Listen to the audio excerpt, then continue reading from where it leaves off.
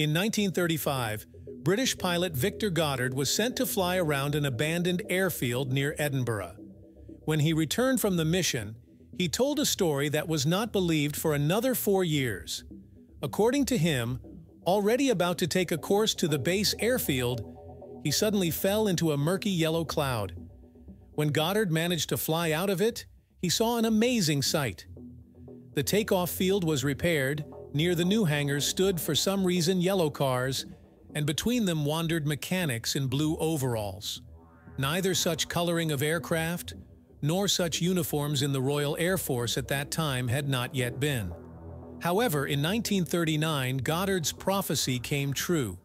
Airplanes were indeed painted yellow, mechanics were given blue overalls, and the airfield near Edinburgh was cleaned up. See more